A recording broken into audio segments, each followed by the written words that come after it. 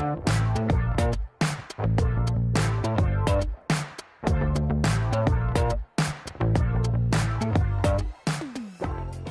les entrepreneurs d'immobilier, bienvenue dans cette nouvelle vidéo. On va parler de comment s'enrichir en investissant dans l'immobilier. Et je ne suis pas venu les mains vides parce que je suis venu avec le premier acte authentique. Bah, je vous le montre.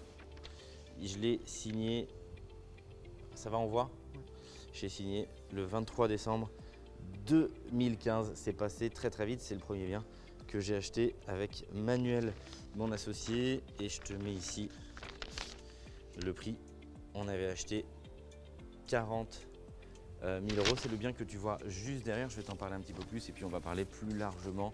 Euh, le but de cette vidéo, c'est de t'emmener en immersion dans mes opérations immobilières avec Manuel. Mais sans plus attendre, je t'invite à cliquer sur le bouton rouge s'abonner, la petite cloche notification, comme ça tu vas pouvoir recevoir en direct l'intégralité des futures vidéos et les différents conseils. Aujourd'hui, je t'en parle parce que euh, cet appartement. Je viens de signer le compromis puisqu'on a décidé avec euh, Manuel de le vendre et je vois souvent des commentaires que l'immobilier ça rapporte plus, que l'immobilier ça marche plus, euh, que même si aujourd'hui on investit dans l'immobilier, on ne va pas arriver à dégager des revenus suffisants. Et moi j'aime bien prendre cette image qui est l'image de l'iceberg. Tu as vraiment cet iceberg où tu as le dessus. Le dessus c'est le cash flow, c'est-à-dire le différentiel entre ce que tu encaisses et ce que tu vas rembourser. Et le dessous, c'est justement l'amortissement du bien. Parce que ce qu'il ne faut pas oublier, c'est que plus le temps passe, bah plus tu vas rembourser ou au travers du locataire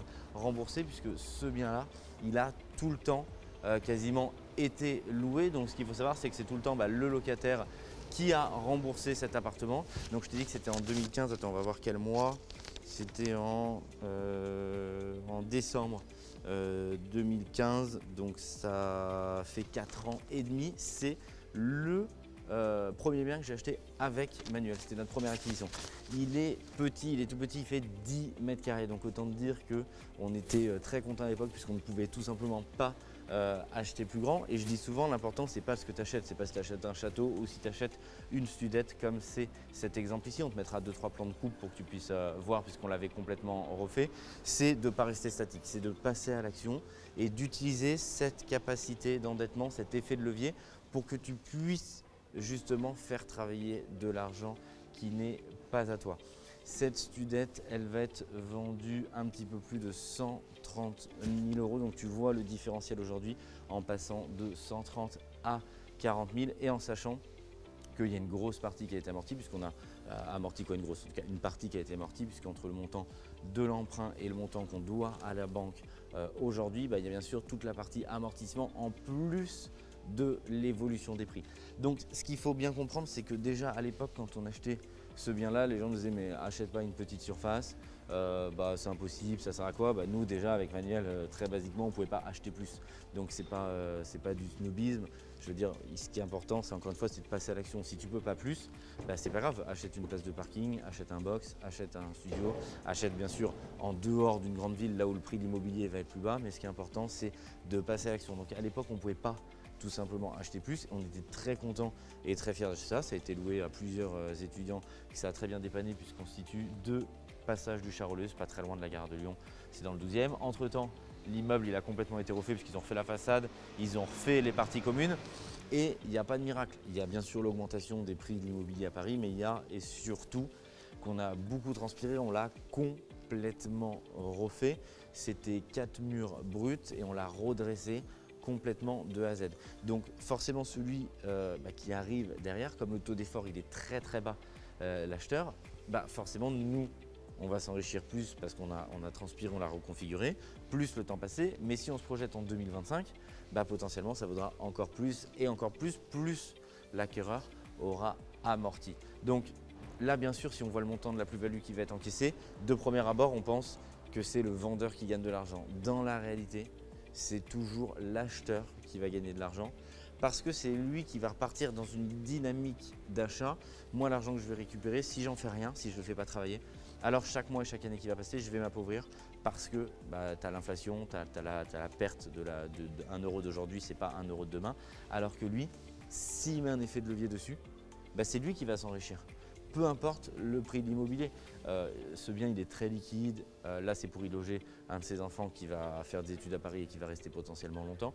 Mais s'il s'inscrit dans la durée, dans une dynamique, c'est toujours l'acheteur sur un marché immobilier qui va s'enrichir quand un vendeur il va prendre son chèque, mais potentiellement la valeur de son euro s'il n'en fait rien. Donc le but du jeu, l'argent, c'est toujours de le faire circuler.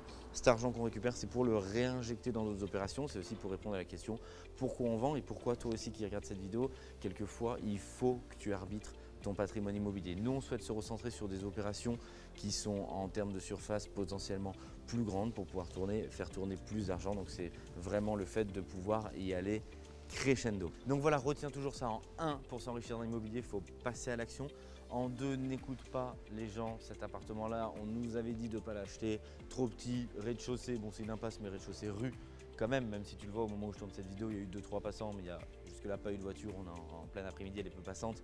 Mais il y avait tout sur le papier, il y avait tous les défauts pour pas acheter. Petite surface, complètement à rénover, sur rue, donc je peux te dire qu'il y a plusieurs personnes qui nous disaient de pas passer l'action dessus et pour autant on l'a complètement reconfiguré, complètement refait.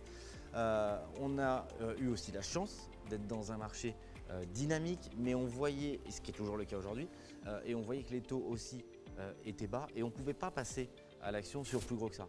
Donc ce qui est important, c'est pas la taille, c'est pas le montant, c'est de passer au maximum à l'action. Et tu vois aujourd'hui, en le revendant euh, après impôt, puisqu'on va payer bien sûr l'impôt sur la plus-value.